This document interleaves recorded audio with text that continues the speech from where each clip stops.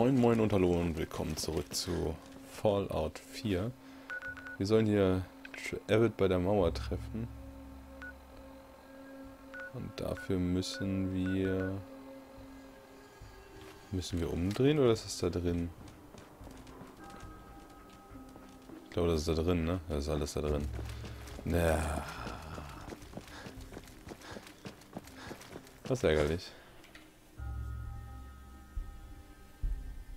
Aber dann gehen wir halt wieder rein. Auch kein Problem. Oh, schwere Waffen, ja. Sieht auf jeden Fall schwer aus.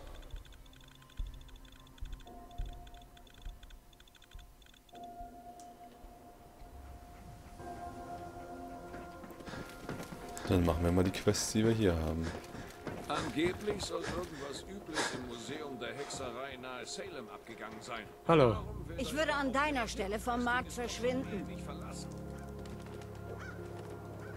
Untersucht das Museum der Hexerei. Jetzt haben wir aber viele Quests. Ich will nur meine Ich bin Ruhe. kaum zu glauben, dass du das wirklich isst. Es gibt nur eins, was man im Dugout in kaufen Hallo. sollte, und das ist Hast der du die Schnaps. Zeitung gelesen? Äh, hallo. Oh, wow, du bist aber groß. Auch mal was essen? Was erwartest du denn bitte? Da gibt's mir mal ein paar gute Infos hier im Sünd. Voll die... Hab mit meiner Freundin Schluss gemacht. Sie hat nie den Deckel auf die Zahnpastatube geschraubt. Wenn du mich Weißt weiter du, so anglotzt, könnte ich auf die Idee kommen, dass du ein Sünd bist. Ja, genau, weil er dich anguckt. Pass auf, wo du hingehst. Ich Ja, hab dich im Auge. Ja, und? Interessiert mich nicht. Ich will dich platt machen.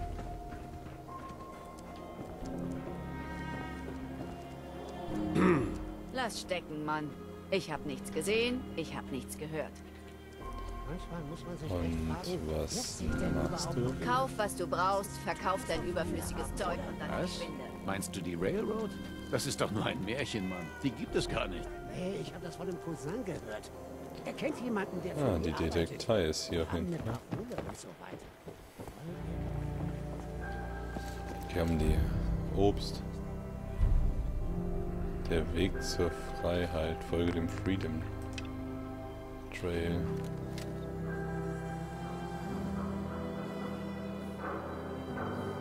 Nicht die Farbe anfassen. Was? Warum? Das ist die Mauer. Der große grüne Wächter, Grüne der die Farbe? bösen Jungs draußen hält. Die Mauer hat noch keiner überwunden. Noch nie. Da können wir wenigstens dafür sorgen, dass sie schön aussieht. Du könntest ein wenig Erziehung gebrauchen. Wie wär's mit gemeinnütziger Arbeit? Hm, was gibt's denn? Worum geht es? Siehst du die Farbe hier? Es gibt nur einen Ich hab Ort doch schon ganzen Farbe gemischt.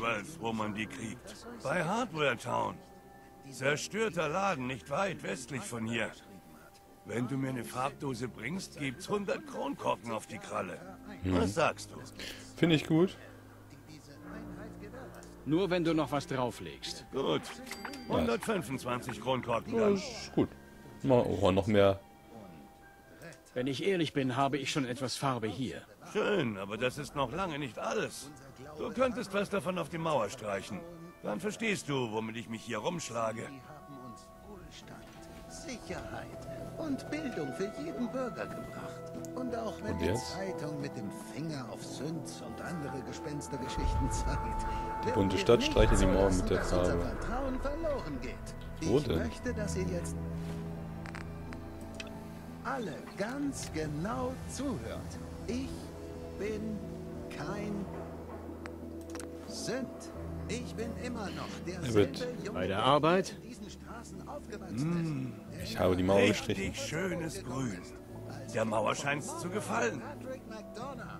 Und ich werde meine Stadt nicht Meinst du, das ist genug Farbe? Sollte für einen neuen Anstrich oder zwei reichen. Das muss erstmal genügen. Hier sind dein Geld und ein kleiner Bonus für den richtigen Farbton. Natürlich. Aber mach damit nichts, was ich nicht auch machen würde. Nice, das war Erfahrung. Ja, Bengel denkt sich hier, ich halte meine Rede. Was immer du fragen willst, ich weiß nichts Jetzt hauen sie darüber. alle ab. Wenn du hier nicht wohnst, bist du ein Niemand. Wenn hier nicht wohnt, bin ich ja niemand. Hey, bleib stehen. Ah, auch noch ein Ansässiger. Detective. Schauen wir jetzt erstmal der Det- Detektei vorbei. Und gucken, was der Detektiv für uns hat. Ob er uns helfen kann. Doch gesagt, dass dein Glück auch nicht ewig anhalten wird.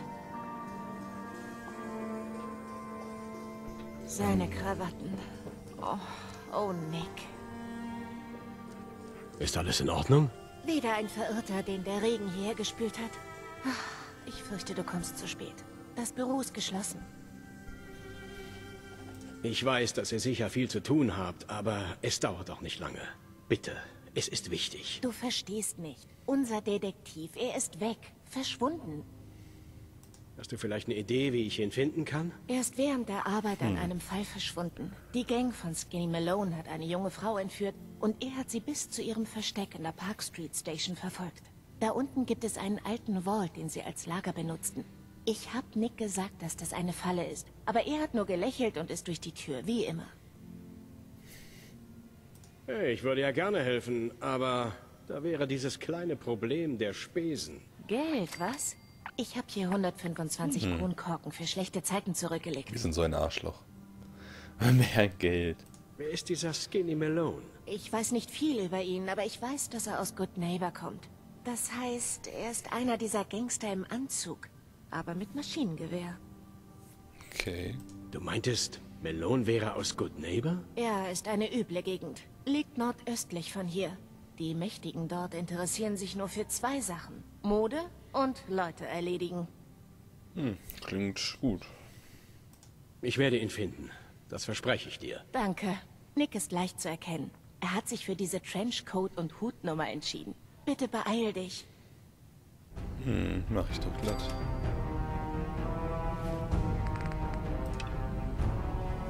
Sei mein Valentine. Finde Nick Valentine. Machen wir doch glatt. Ein Bett. Ah, das darf man nicht. Gucken wir mal, was es in der Stadt sonst noch so zu tun gibt.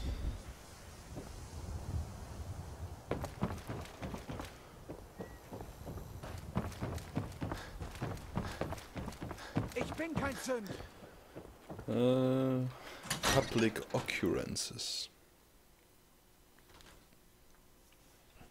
Schön, dass du vorbeischaust. Ist alles klar bei dir, Blue? Äh, ach hier. Hey, Piper. Alles klar, Blue? Blue? Warum nennst du mich so? Weil du ein Vault-Bewohner bist? Du trägst zwar gerade nicht den blauen Anzug, aber den Pip-Boy und diesen Fisch auf dem trockenen Look. Ziemlich eindeutig. Also hör zu, ich will ein Interview. Deine Lebensgeschichte. Ich finde, es wird Zeit, dass Diamond City mal erfährt, wie ein Fremder das Commonwealth so findet. Wenn das klappt, dann... Ich hab's. Dann komme ich mit dir mit. Ich pass auf dich auf, während du dich an die Welt hier oben gewöhnst. Was soll das für ein Interview werden? Ich frage dich, wer du bist, was du vom Leben hier draußen hältst und vielleicht noch ein paar knifflige Fragen, um es interessant zu halten. Die ich dir Was aber auch nicht du? unbedingt beantworten werde. Hier hast du deine Überschrift. Hiesiger Mann sagt nein. Du meinst es ernst, hä? Schlaumeier. Schön.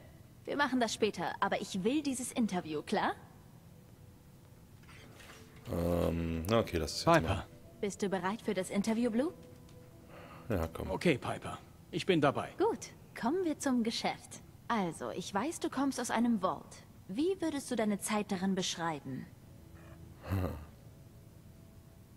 Da waren nur ich und tausend andere Versuchskaninchen. Sie wurden zu Fleischfressern. Okay, ich schätze, da muss wohl ein satirischer Ansatz her. Also, du hast das Commonwealth gesehen, Diamond City. Wie ist das Hm. verglichen mit deinem alten Leben? Scheiße. Lustig, Sachen zu zerstören. Hey, ist scheiße. Gibt es sogar.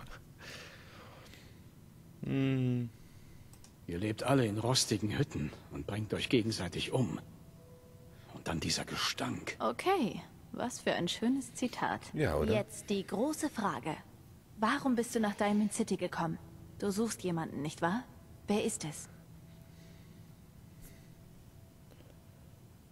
Ich habe meine Familie verloren, klar? Ich versuche sie wiederzufinden. Wie heißen sie, Blue? Wer sind sie? Was kümmert's dich? Die Nachrichten. In Diamond City interessiert sich vielleicht niemand sonst dafür. Aber meine Zeitung tut es. Mein Sohn Sean wurde entführt. Er ist nicht mal ein Jahr alt. Auf der Suche nach dem vermissten Kind. Das ist heute so Hm. rührend wie eh und je. Glaubst du, das Institut hat etwas damit zu tun? Das Institut? Wer ist das? Das Blue ist das größte Rätsel im Commonwealth. Niemand weiß so richtig, wer oder wo sie sind, aber man bekommt ihre Machenschaften mit. Synths, synthetische Menschen aus geheimen Laboren. Sie erledigen die Drecksarbeit für das Institut. Manchmal ersetzen sie jemanden sogar mit einem Synth-Doppelgänger. Ein verdeckter Agent, den niemand verdächtigt. Nicht alles Schlimme, das passiert, hat mit dem Institut zu tun, aber möglich ist es immer. Darum frage ich. Die machen synthetische Menschen? Genau das. Es gibt Mensch. zwei Hauptarten, auf die du achten musst. Die erste kann man leichter erkennen. Die Haut sieht aus wie Plastik. Teilweise kann man das Skelett sehen. Sie durchstreifen plündernd und mordend das Commonwealth. Vor einer Weile habe ich über University Point berichtet. Die ganze Stadt wurde ausgelöscht. Die zweite Art der Synths ist das eigentliche Problem. Sie haben Haut, Blut, ein warmes Lächeln, schuldbewusste Blicke. Hm. Wie ganz normale Menschen. Und? Glaubst du, sie haben was mit der Sache zu tun? Das Institut oder einer seiner Agenten? Kann durchaus sein. Ja, das ist gut möglich. Nicht mal ein Baby ist vor ihnen sicher.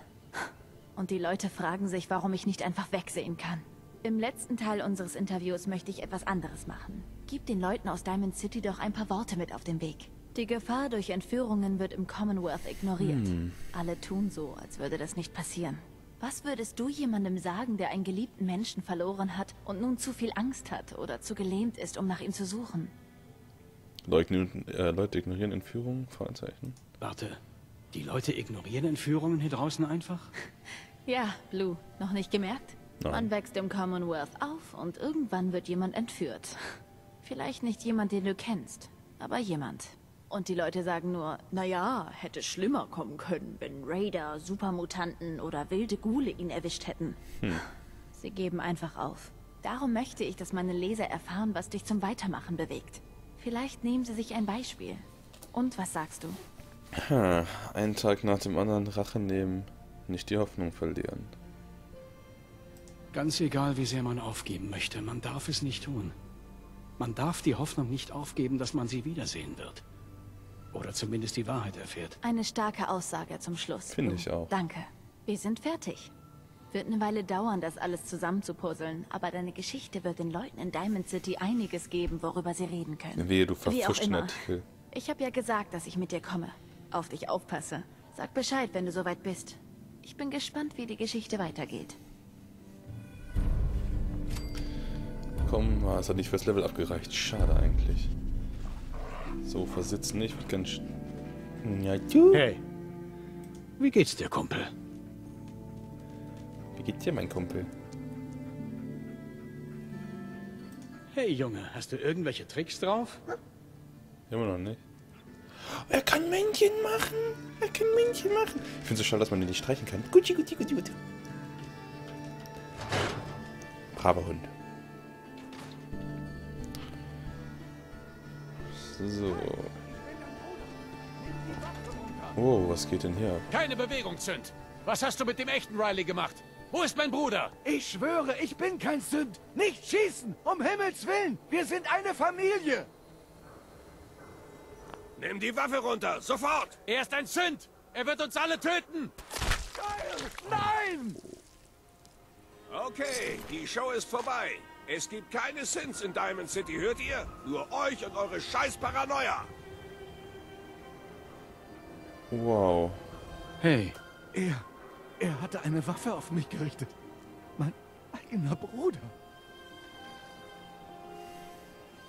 was ist passiert? Ich, ich bin kein Sünd. Hm. Ich hab's ihm gesagt, immer wieder. Warum hat er mir nur nicht zugehört? Ich, ich brauche eine Minute. Zurücktreten, Plünderer.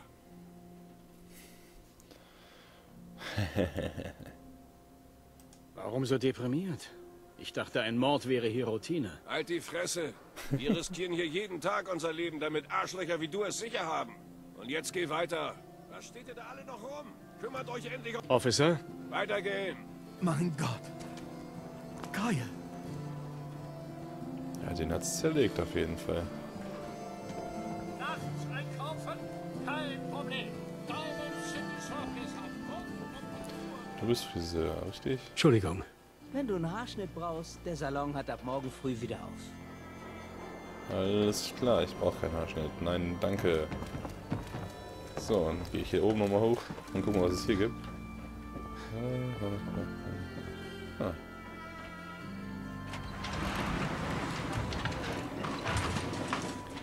Lass ich mich mal nach oben bringen. Ein Blick über Diamond City.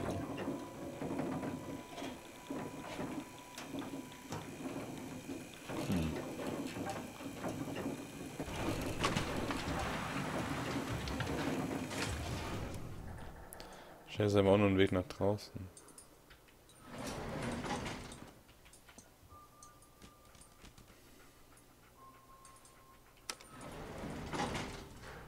Bin mal gespannt, wohin der Aufzug uns führt.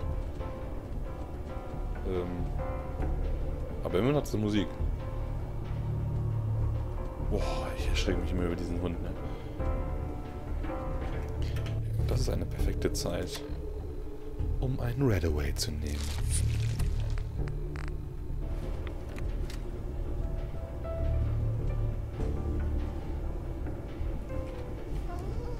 Wir fahren ziemlich lange.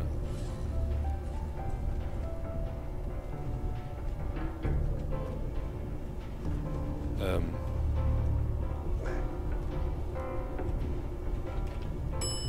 Oh.